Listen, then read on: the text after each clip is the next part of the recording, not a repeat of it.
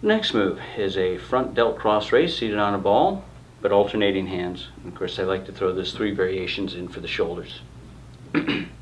so, knuckle, thumb, palm, knuckle, thumb, palm.